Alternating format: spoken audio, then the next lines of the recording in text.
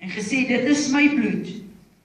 Die bloed waardeur die verbond verseël word en wat vir baie vergiet word tot vergifnis van sondes.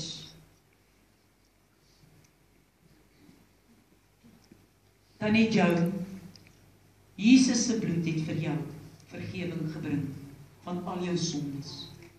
Jou sondes wat jy bely bestaan nie meer. Die Here het jou vrygekoop en vrygemaak met sy bloed.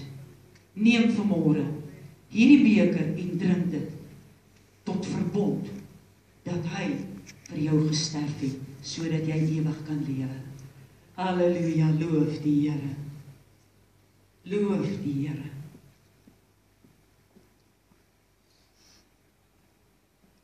Tot vergifnis van jou sondes.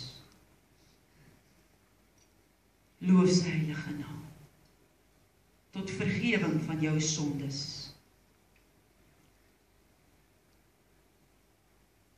Tot vergifnis van jou sondes.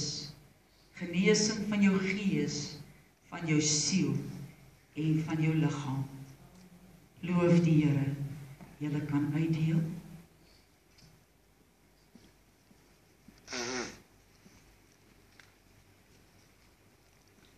raurention, rike eller itims